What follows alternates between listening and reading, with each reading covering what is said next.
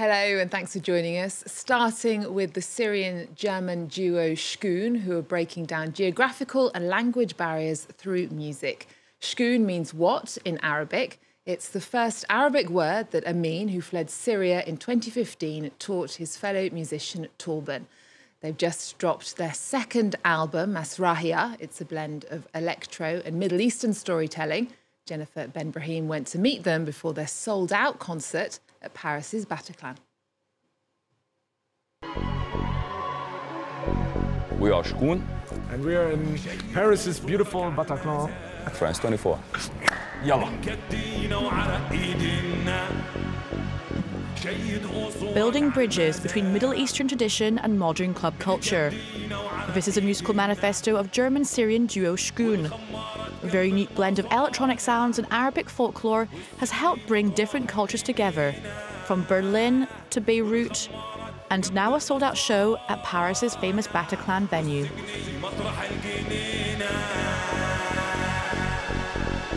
Like Bataclan was on the bucket list. For sure, And it worked for out time, because like with the historical issues that happened here, we'd like to, you know, spread the love and spread the Yeah. music and spread unity in this place. Amin Torben, hello, In fact, you're speaking to us on France 24. Uh, what can people expect from uh, your Shkoon show? Maybe they're gonna expect the connection, like we connect to them somehow with our feelings, with their feelings, like we both connect with each other. Maybe they're gonna expect old songs that we're gonna play, who knows? Yeah, it's about connecting uh, different cultural roots together and like finding unity with each other. Amin left Syria in 2015 during the war to find roots in Hamburg, Germany. Bringing with him the traditional sounds of his country, he was forced to leave. They represent everything that is great about the Arab uh, scene of today. It's interesting to see traditional songs that we know from when we are young, seen in a new, uh, renovated way. So Oui, la musique électronique, c'est ça. Les, les sujets, c'est arabe aussi, c'est notre, euh, notre culture à la fin. A chance encounter with Torben led to the beginning of his musical journey. There was no planning to have a band called Shkoon. There was no planning of making a project and go around the world. It was just two guys. They knew each other and they shared flat, you know, with a lot of other friends. And by coincidence, he knew that, or he heard me singing, and by coincidence, I knew that he's making music, and we decided just to jam together we, in their we, place. we clicked on, on like a lo- lot of old traditional uh, Arabic poets. Like, Exactly. like Amin, knew everything, and he showed me everything, and I was super hooked. So we needed to do something about it. Syrian folklore is really kind of at the heart of what you two do, as you were just mentioning before. Uh, you brought this to the table when you started making music together. Uh, why this choice to bring folklore into your music? because I didn't know how to write lyrics, to be honest. like that was the option that, of course, I'm connected to those songs, the folklore songs, in a way that I raised up on those songs. I witnessed stuff on it when I was like in my past, and it reminds me of things. It bring, Yeah. it, it gives me a flashback to go back to those places. And I was freshly leaving the country, and I was homesick, and that was the only connection that let me stay connected to my roots. Let's say my music, my my folklore, my tradition. This is why. ويا الراكب على عبيه حول وارتاح شويه ويا الراكب على عبيه حول وارتاح شويه how would you describe your sound? I know it's really hard to put into one box. Yeah, it is hard, and I like to play the game. And when people ask me, like people who don't know Shkoon and who don't know us, and they ask me what we do, I tell them something different every time. I, of course, like an easy way is to say we do Arabic fusion, and honestly, spoken. This is how we say it. Yeah, mm-hmm. like we. You can see it on the album. We do lots and lots of different kinds of, of, of music. We have hip hop, we did dub, we do like electronica, ambient sound. we do have also some Exactly. classical pieces. Some classical inspired things. We, ha- we do now in the show, we have an acid techno track. We have lots and lots of kind of things. I like to surprise people and say we do Arabic pop. Amin, hates it when I say it.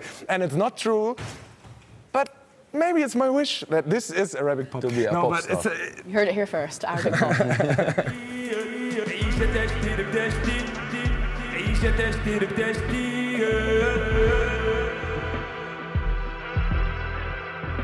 Well, speaking about your album, your album Mashahia, which I hope I'm pronouncing correctly, came out at the end of last year. Um, can you tell us what the title means and also, uh, you know, the sound behind the album?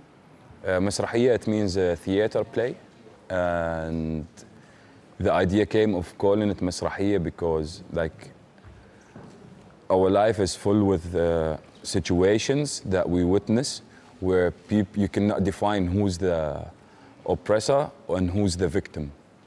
And then when we collected the songs, we had the idea, okay, let's do it as a theater play because we live in a huge theater. Everybody's acting, everybody put in the mask before they go out from their houses, you know. Either way, they smile or they look angry, but they are different inside.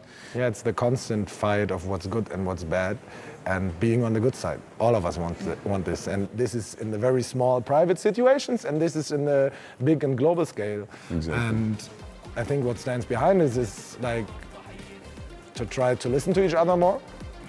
Um, but yeah, it's not easy.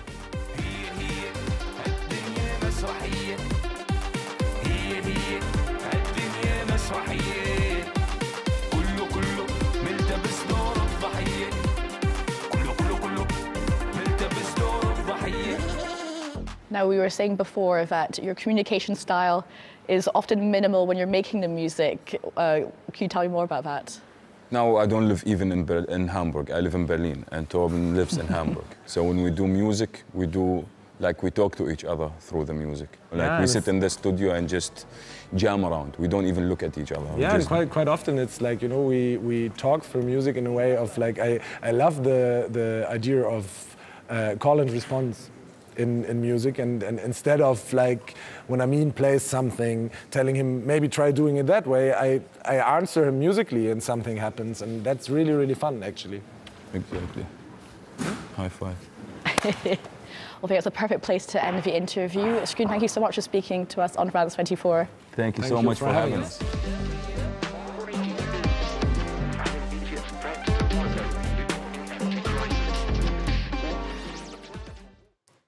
There we go, Jenny Ben Brahim speaking to Shkoon at Paris's Bataclan.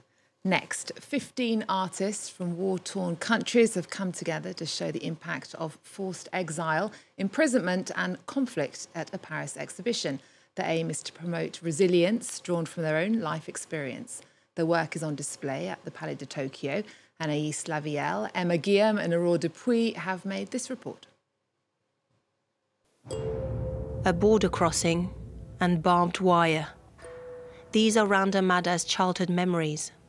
Born in the Golan Heights, occupied by Israel since 1967, the artist remembers the day a group of Palestinians tried to cross the border next to her village. A scene that she wanted to put on canvas. when uh, they uh, crossed the street just in front uh, of our house. Uh, my mother was uh, very uh, sad about the idea that a young man could be killed on the border. This is the discussion that happened between my mother and this young man. أنا رايح على بيتنا بيافا. I'm here to return home to Jaffa in English.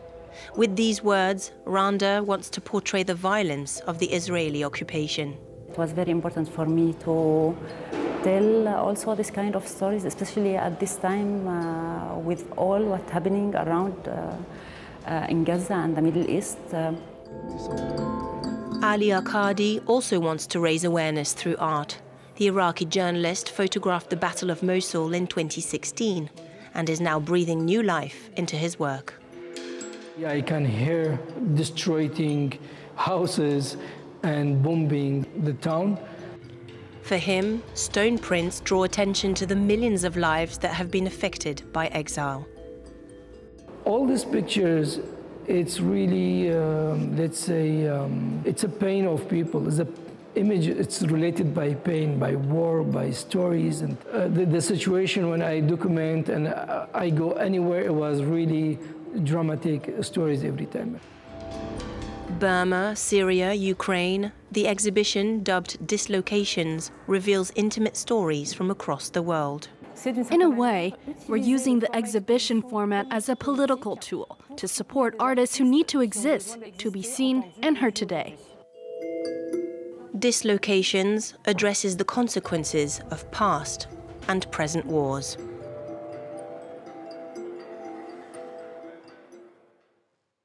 And the exhibition is on until the 30th of June at Paris's Palais de Tokyo. Now, we'll leave you with the Afghan Youth Orchestra, who are embarking on a tour of England with a performance that's called Breaking the Silence. This is a tour that almost didn't take place because the UK government refused to grant them visas, but after a public outcry, the Home Office was forced to overturn their decision. The 47 exiled musicians based in Lisbon will start their tour in London this week. They'll also play in Birmingham, Manchester, and Liverpool. We'll leave you with that. Thanks for watching. See you next time.